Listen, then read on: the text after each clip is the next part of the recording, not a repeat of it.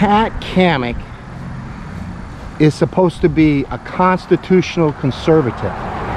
You know that she only votes with the Constitution 89% of the time?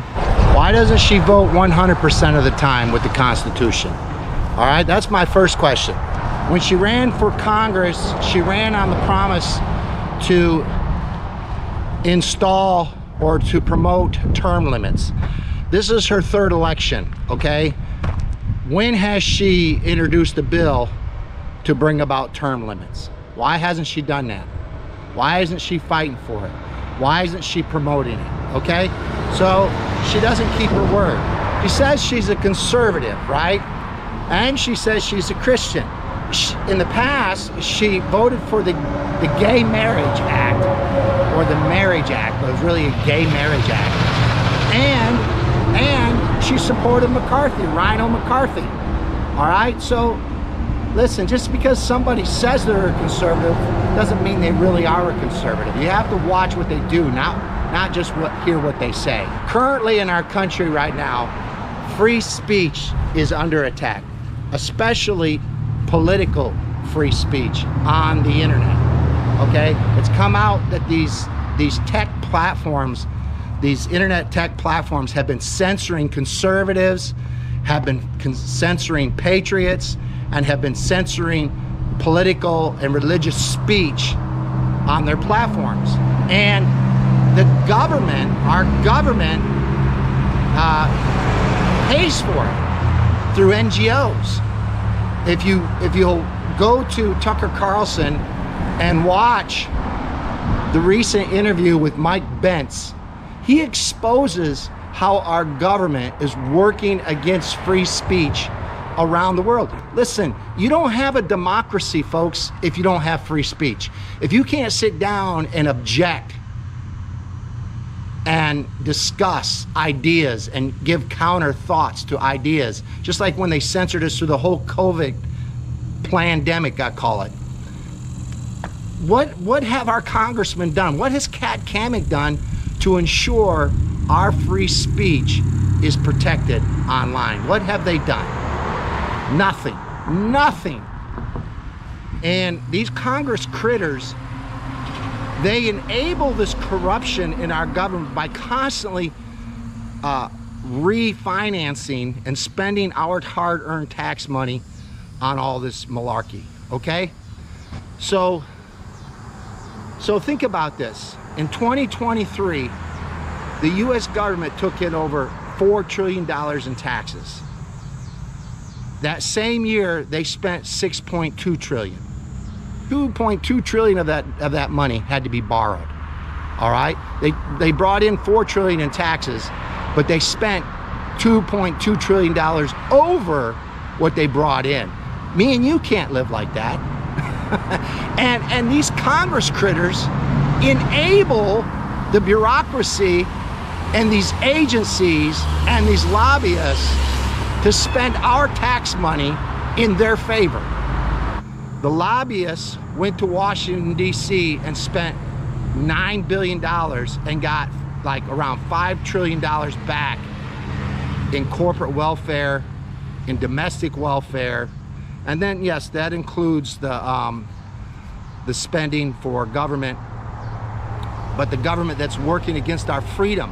Why hasn't she done anything to stop the censorship, the political censorship of free speech on the internet?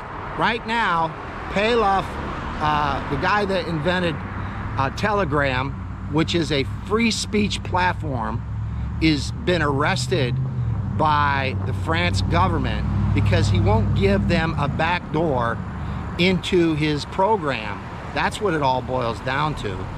And she's done nothing. She hasn't demanded that the French government explain why they arrest Paloff.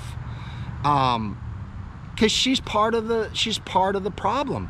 Okay, these Congress people, if they're not 100% constitutionalists, they're not patriots. Okay, all right, and she she marks herself as a conservative and a Christian. This is the problem with the Republican Party.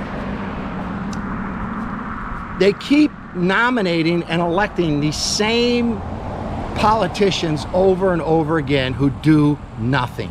All right? And